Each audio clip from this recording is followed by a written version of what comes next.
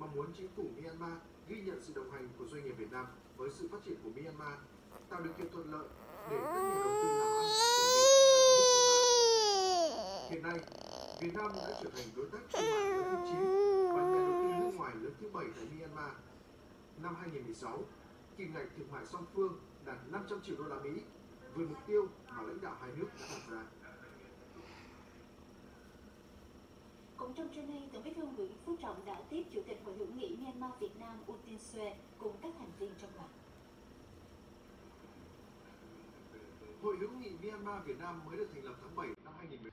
Mày tí không chịu ăn bao giờ mày lớn À không đâu không đâu cô yêu cô yêu cô yêu À cô yêu cô yêu cô yêu cô có yêu à À cô Trương mà cô bế trùng nha À cô bế trùng Rồi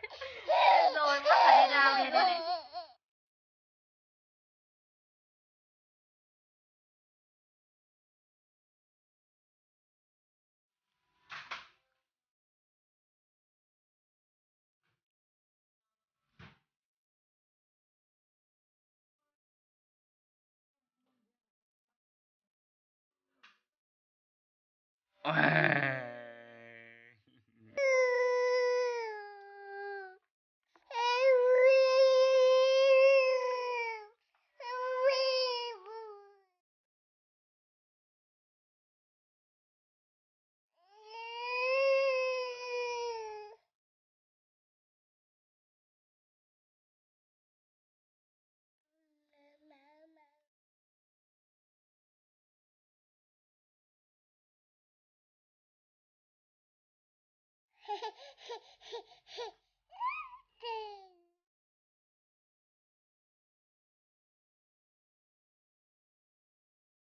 à thương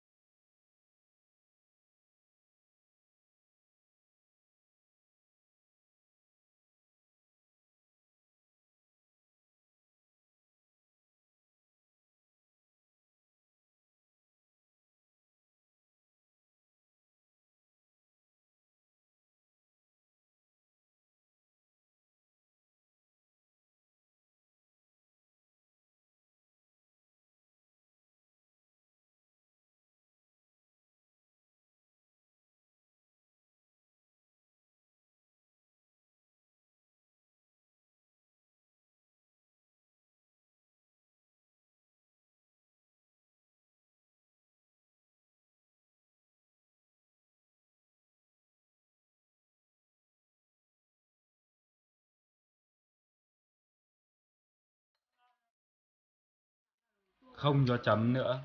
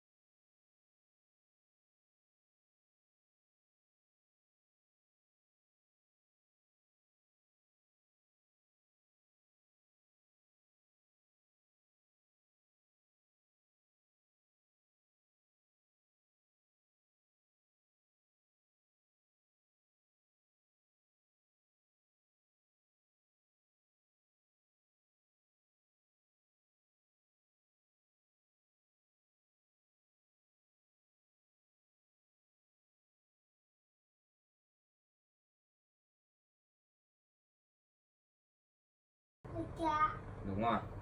Đi ra đây. Này, đã xong, đã cho nó. Đâu? Sao lại đi xin cho nó hả? khổ thân nó. Đâu lấy về đây cho nó. Biết là ăn nhiều sâu răng không?